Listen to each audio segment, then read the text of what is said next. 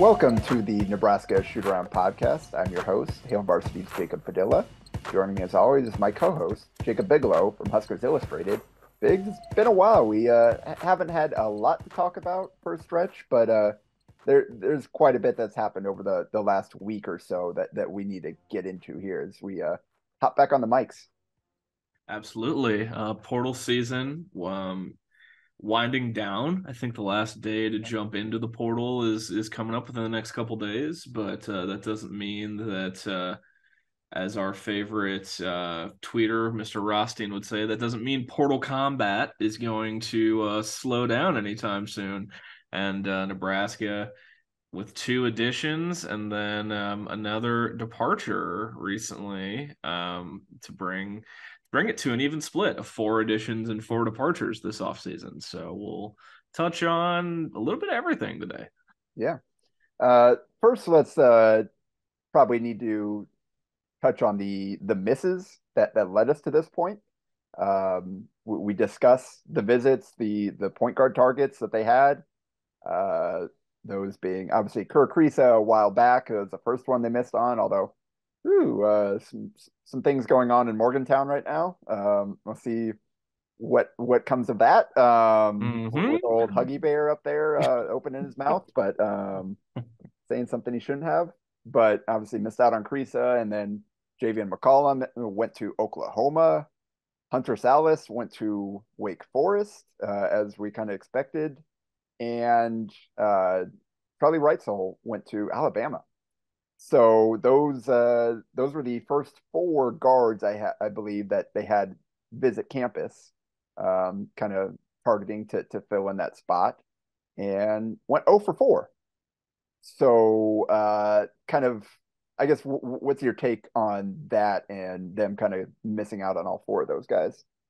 Well, I mean, the point guard spot was kind of the first, it was kind of 1A and 1B on like the offseason wish list, right? Everyone, obviously, with the departure of Sam Griesel, uh, you know, in his one, his one year stay in Lincoln running the point, and then kind of that coupled with the, the volatility of that spot for Fred Hoiberg and co since uh, they've been here. Um, point guard was obviously going to be a top priority, and they, um, they kind of put all hands on deck with a you know four four different guys you know in that group and obviously they missed on all four but uh, there was kind of there's kind of only one true point guard in that group in McCollum. Um, and then Kriisa that would have been a whole nother mess but then obviously you know the the fun thought of the Trelly Wrightsell Hunter Sallis package deal, especially after he gave that quote to uh 24 7.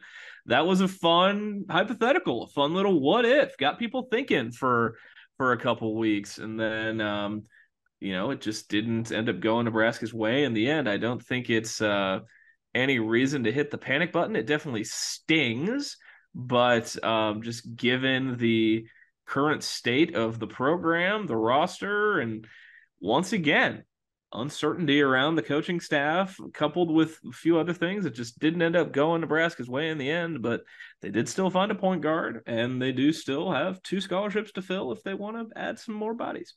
Yep, and since we're going next, where uh, the fifth, uh, so Plan E, I guess, the fifth uh, guard visitor to campus uh, is former Iowa Hawkeye Ahron Ulis, who um, last weekend, as we record this on uh, Tuesday, uh, Tuesday night, that previous weekend they, they they had him on campus, and by the end of the visit, I guess he had seen enough to uh, pull the trigger and commit after what spending about a month in the portal.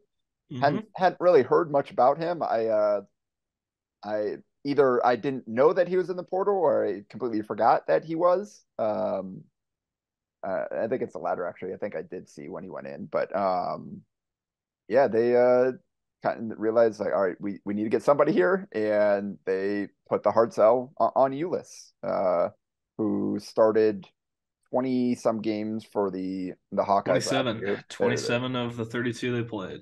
Yep. Um, not uh, not anything special looking at his numbers, average 6.1 points and 2.1 assists, uh, about a two to one assist turnover ratio.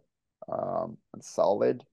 Uh, 32% on threes and just under 40% overall from the field. So uh, scoring numbers aren't aren't that great. Uh, played just under 23 minutes a game as a starter. Um, so it wasn't it it was I was kind of struggling to find the the like fifth piece to their their lineup all season. Um, they kind of mix and match lineups. Yeah, obviously had Patrick McCaffrey as away for a while, uh, dealing w- with his issues.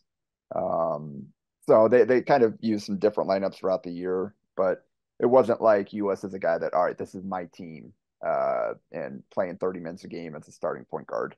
Um, so he kind of entered the portal after didn't did play much, only playing 17 games uh, his his freshman year. Then then last year played in all 35 games, but just uh, just under 14 minutes a game, averaged three points and two assists a game basically. Um, this past year again, starter basically doubled his uh, scoring production from three to six.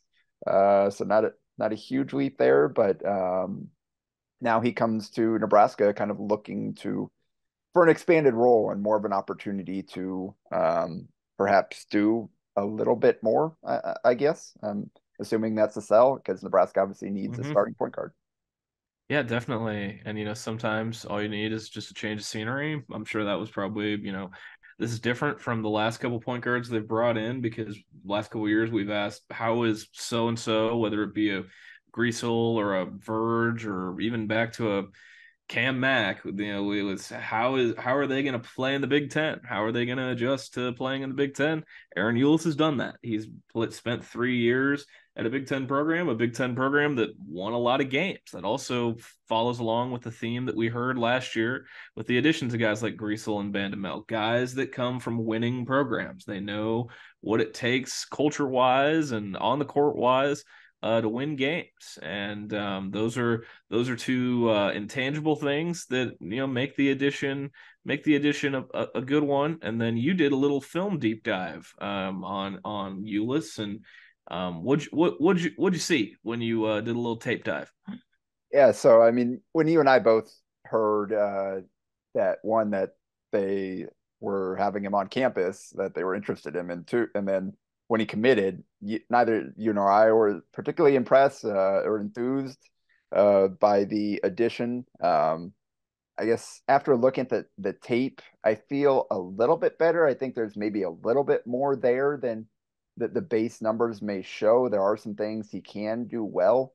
Um, but uh, I, I don't necessarily know that it's, oh, this a hidden gem just waiting to, to be uh, unleashed and is going to come in and be a double digit scorer and dish out five assists a game and anything like that. Like he he's very much a role player. Um, I primarily a, a, pick and roll uh, point guard that's uh, more than a quarter of his possessions.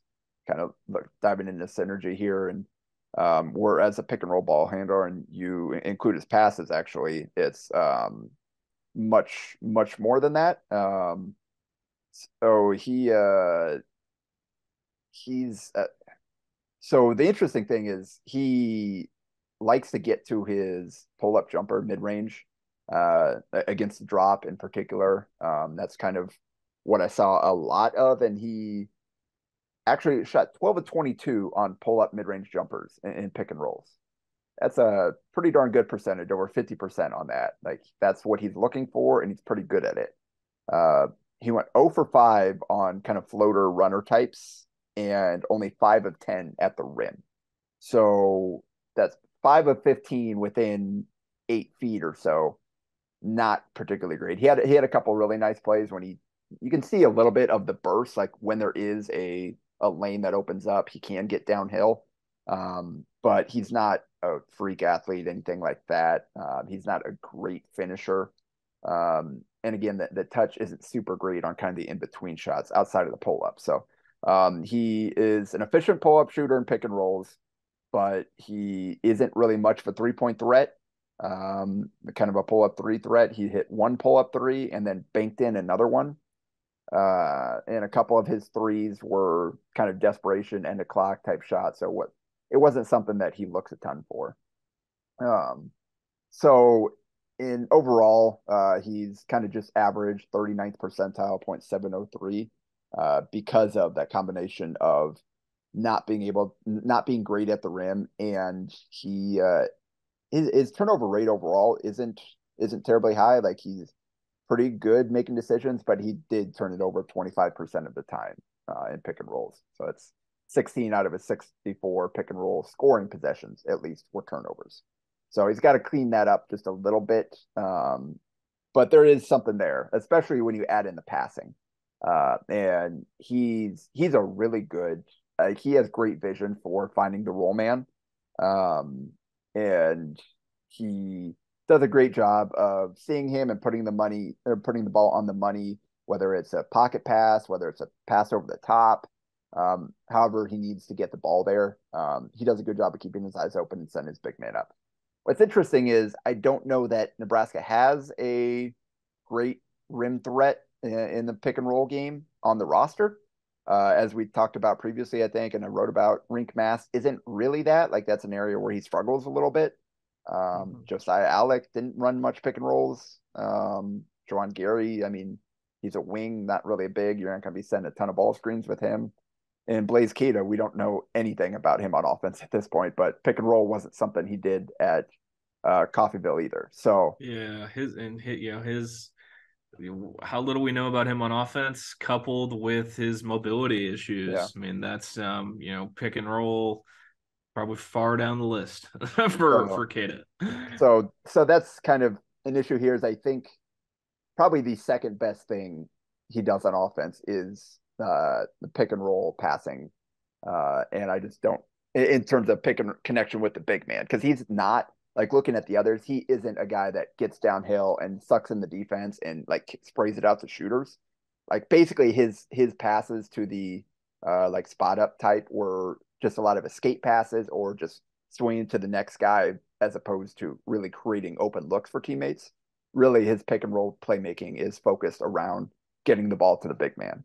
So that fit, like that's I'm kind of like, uh, how does that work? Um, but that's kind of his his pick and roll game is his main thing. Uh, as a spot up shooter, he's actually actually not bad as a spot up shooter. 13 of 36, about 36% on catch and shoot threes in spot up situations. Um, so like that, you can do something with that. Um, He's five of 14 when he puts the ball on the deck and looks to get downhill. So again, you can see kind of the same thing as pick and roll. The athleticism in the half court isn't really there.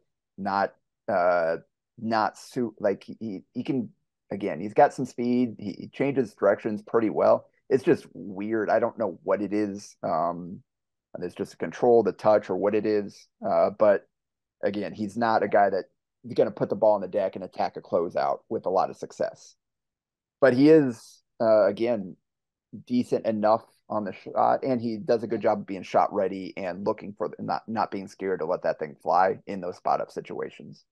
Um, so there's a little bit there. Overall, the three point percentage is not good off the bounce as a as a pull up three point shooter, but there's enough there, like shooting touch, that he's not a complete non shooter, and you help off him, he'll he'll take the shot.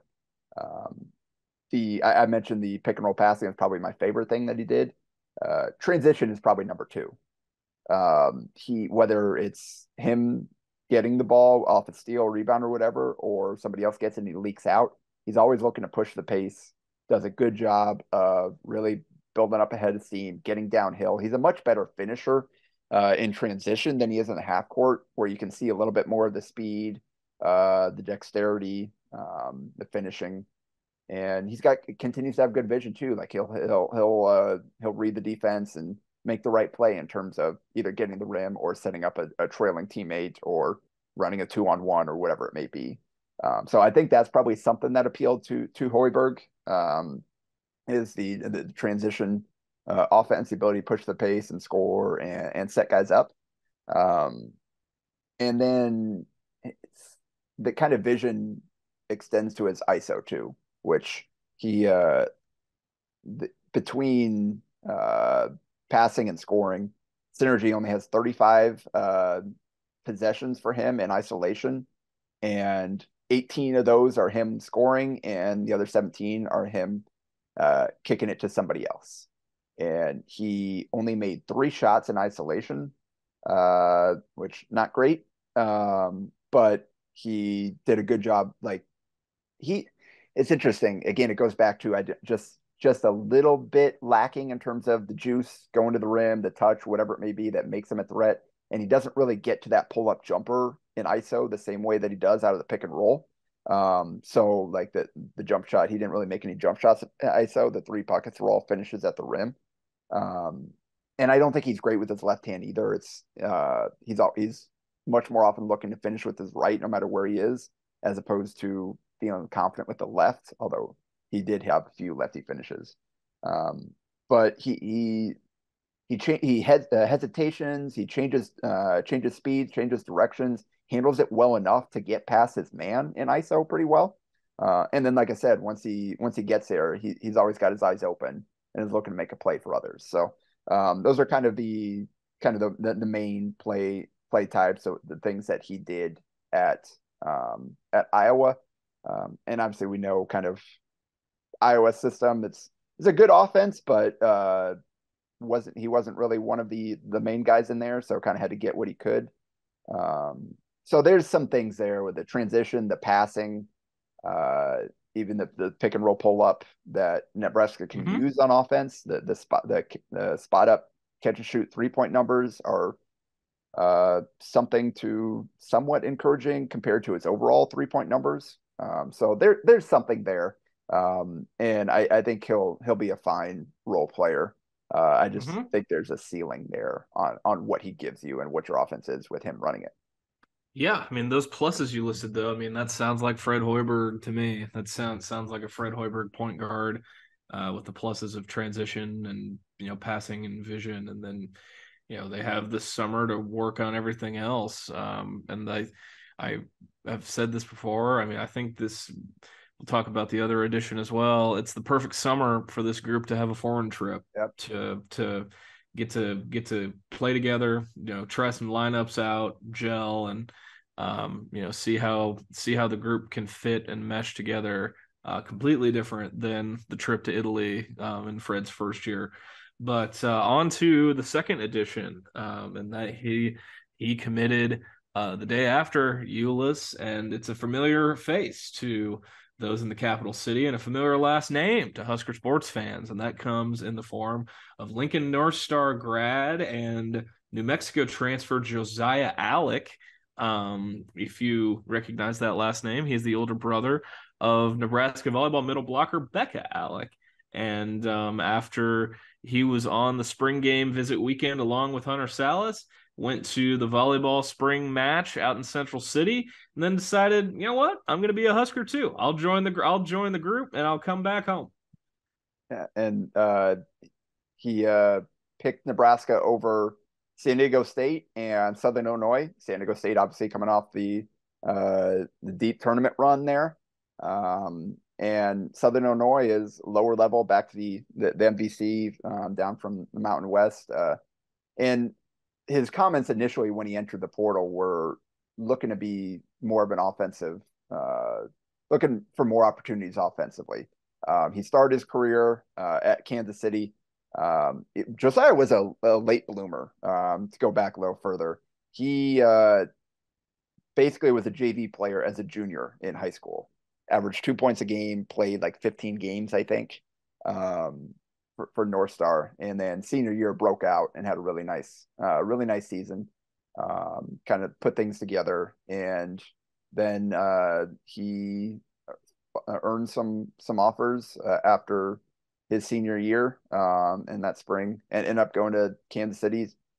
Played right away as a freshman, averaged about six points, four boards. Um, started 12 games, uh, 16 minutes a game played then broke out, had a great sophomore year, 15 a game, six boards. Uh, they uh, junior year kind of fell back a little bit, about 13 a game, six rebounds, uh, still playing about 26 minutes a game, uh, and then decided to enter the portal and go after, see after uh, coaching change. Yes, so that was the big that yeah. So Yeah, sorry to interrupt. No, no, Coaching change in Kansas yeah. City was uh, was fuel for his first portal entry. Indeed, and uh, took advantage of kind of the, his time in the portal. Found a good fit um, in, in, New Mexico. Um, they they were very interested and did what it uh, they needed to, to to to land him there, and he started all 34 games for them. Played 32 minutes a game average eight and a half points, 7.3 boards, which is like second or third in the Mountain West, I think. Um, just kind of the hustle guy, uh, played, defended pretty much whoever they needed uh, him to defend, um, clean, uh, clean the glass, and um, kind of scored here and there. Again, just uh, only took t- six shots a game, shot 56% from the field an interesting thing is, and I think he he made the comment to Mike Sauter is uh, at Kansas City, uh, it shot about 36% on uh, mm-hmm. two threes a game uh, between his sophomore and junior year. And uh, New Mexico, 16% on one attempt a game. So the jumper kind of abandoned him. It wasn't really something that they let him do. And uh, he mentioned that's a big part of uh, what drew him to Nebraska. And Fred Hoiberg's track record and confidence in his ability to develop jump shooting. Um, maybe that's something that impacts us as well. Um, as we know, Fred Fred believes in his ability to get the most out of guys and to improve their mm-hmm. jump shot. And so that'll be interesting to see kind of how he as he fits into this team. Is that three point shot something? Can he get it back up to that 35, 36% range where it's something that can help help a team? Um, but uh, yeah, he uh, ended up, I guess, after reevaluating, seeing his options instead of going to a lower level where he had a chance to kind of get back to being the man like he was uh, at UMKC. He decided to spend his last year as a Husker in his hometown, and again playing playing with his uh, at the same school as his sister, like you mentioned. Yeah, and I will say this: um, if you look at those at, at, his stats from this year in New Mexico, and you're wondering why did he not shoot more? Why is there? Why do his numbers look the way he did? Well, as the resident Mountain West basketball sicko in the state of Nebraska, I'm here to tell you that Those he guards. had two very ball dominant, yes. very, very shot happy guards in uh, Jaelen House and Jamal Mashburn Jr., who basically just had the green light all the time and could do whatever they wanted under Richard Pitino. And they were hucking, chucking, and taking 30 plus shots a game between the two of them combined, um, or right under there, I think. So they they were taking they were the offense at New Mexico, but Josiah still started every game, played a solid role, was you know um, not at the top of the scouting reports, but near the top. Um, talking to some Mountain West uh, assistant coaches, so I think uh, you know the allure of uh, coming home for one last ride. Sam Griesel showed the blueprint for it for Lincoln kids, and now we get it another year with uh, with Josiah. Yep, and so he slots in as kind of the uh four five man can kind of fill in there i guess probably compete with Juwan Gary for that starting four spot um can play some backup five depending on uh 6'8 235 so not ideal it's more of a, a situational matchup based thing. Like you don't want him having to man up on uh, the likes of Zach Edey's or whatever for mm-hmm. 25 minutes a game.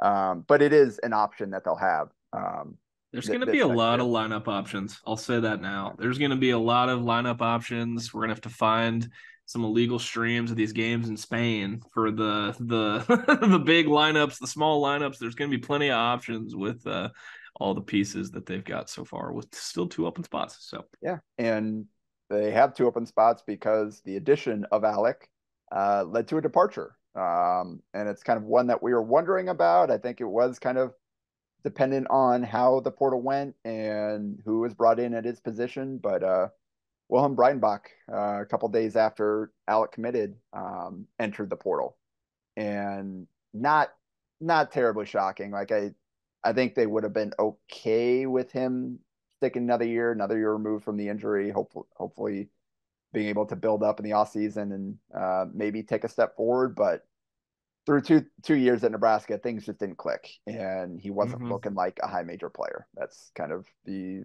the, the best way to sum it up. He wasn't. He played hard at, at times, um, but the thing outside of a few games here and there, um, there wasn't really any particular area I'd say that he that he performed well in uh, for, for Nebraska. Uh, especially the the three point shot never came around. That was something mm-hmm. that Hoiberg liked, uh, and I guess Matt Abdelmassih liked about him.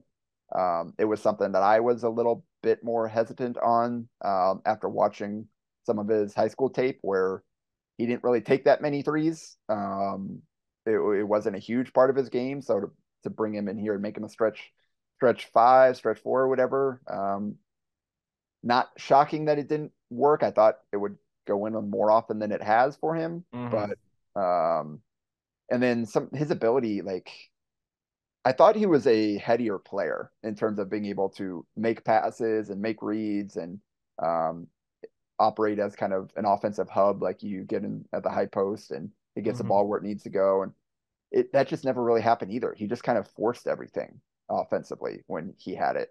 Um, so it, it just maybe it would have gotten better with another year, but um, probably for the best. It's probably for the best for both parties that he goes somewhere else and tries to see if he can find his game uh, and, and, build his confidence back. Yeah, I agree. They were really invested in him from uh, the minute they started recruiting him. You know, they were, you know, he this past year was basically a second freshman season coming off the injury, obviously. But yeah, like you said, it never really clicked. Um, we'll always have the gif of him flexing um, as a way to remember his time here, as well as him being the biggest Taylor Swift fan on the team. Um, we'll have those memories of Wilhelm. And that one time he made like the hook shot from the elbow. I forget what game that was, but you and I both looked at each yeah. other like, holy hell, that just happened. So those are the memories of the Wilhelm Breidenbach era at Nebraska. Yep. So I mean, it would have been nice to have a six ten combo forward, um, just as depth.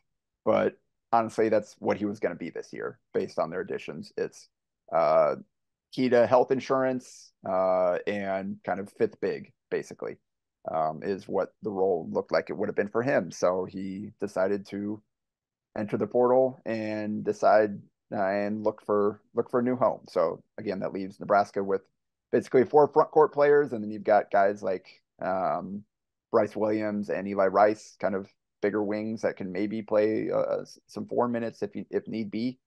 Um, I think they'd like to have another front court option if they can find it with one of these last two scholarship offers. They just added uh, offered a six eight uh, finish uh, 2023 kid um, recently who is starting to blow up a little bit and get some high major offers. So we'll see what goes there, if there anybody else that they show interest in. There aren't a lot of names out there at this point for those last two spots.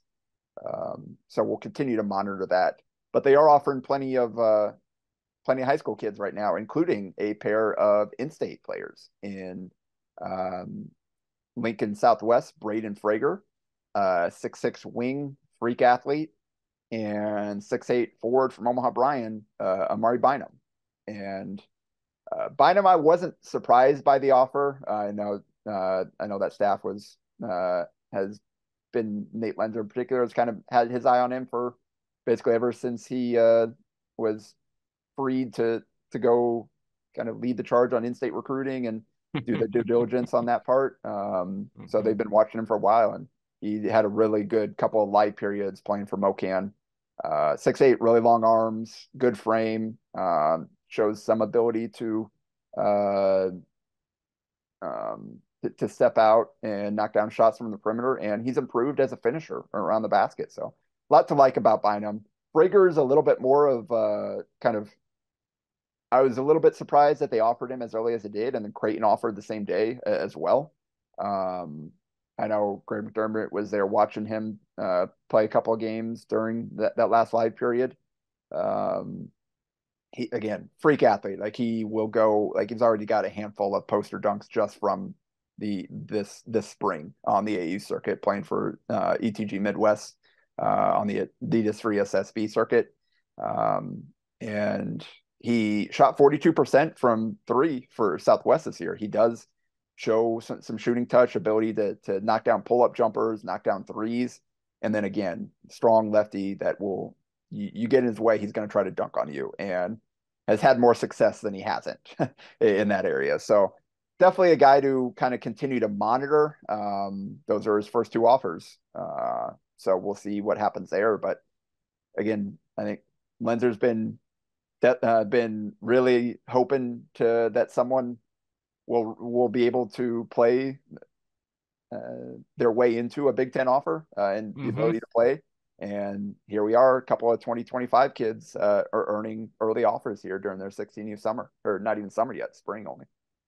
Yeah, absolutely. The Nate Loenser effect already. Well, that's the two prime examples. We've kind of alluded to it for the last year. Uh, the efforts he's been putting in with these in-state guys, um, just keeping tabs on them, building those relationships, just in case one, you know, one or multiple show the potential for an offer, and uh, they they feel like they have two of those in Frager and Bynum. That's a good place to wrap up, I'd say. Um, that kind of covers everything that has happened since we last spoke. Um, I am not just saying this because it's who publishes the podcast and because Jacob's a friend.